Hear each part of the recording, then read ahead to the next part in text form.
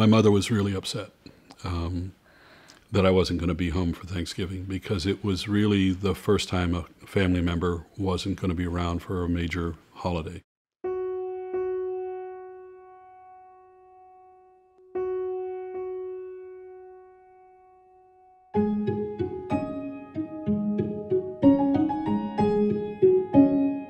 In that early part of November, Doc said, asked the freshmen, any of you not going to be able to go home for Thanksgiving? And I was the only one, apparently, which surprised me. And he said, Mrs. Edgerton likes her techies in ties and jackets. Do you have a tie and a jacket, Gus? And I said, I do, Doc. I have a blue blazer with brass buttons that I've never worn before.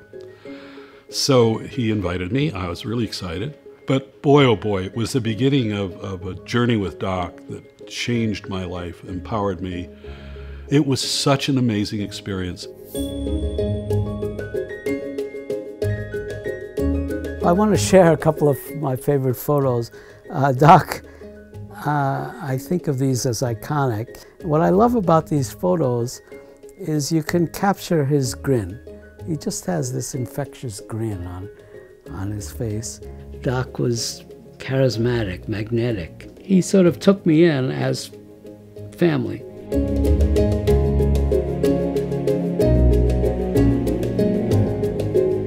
Back at home, I was going just personally through a very difficult time. My own dad was sick.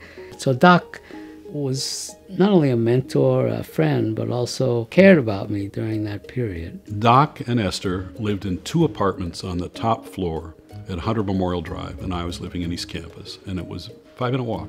As soon as you walked in, it was a, a wonderful hello. Hi, Marty, come on in. And, uh, and Doc says, This is Gus Kafas. At the time, he pronounced my name incorrectly. He's a freshman from Maryland. He's in the freshman seminar. At Doc's uh, dinners, at Thanksgiving, or any of his dinners, you never know who might be there. Doc knew everybody. Jacques Cousteau, Madame Cousteau, President Stratton, Mrs. Stratton, the chairman of the corporation, J- James Killian, and his wife, and me and Doc and Esther. That was Thanksgiving.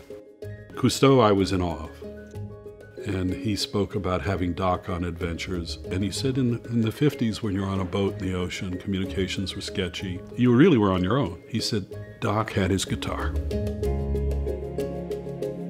So I brought one of my favorite pictures, which is uh, my grandfather and his guitar. If, if anybody uh, ever went to dinner or connected with him, he often pulled out his uh, vintage Martin guitar. He could just pound on that thing and sing. He loved to sing. He would sing, She's coming around the mountain when she comes. And he would just sing with gusto. He had a loud singing voice. Uh, may not have been the best in the room, but he had a lot of enthusiasm. Doc enjoyed life. He taught a passion for life. You felt good, exhilarated after after one of those dinners that you just had a good time. The next morning, my mom called, crying, Gussie, was it terrible? And I said, Mom, I got to meet Cousteau. And I went on and on about it, and there was dead silence on the other end. And I said, But Mom, it was nothing like a family Thanksgiving. It's just so much more than I ever expected.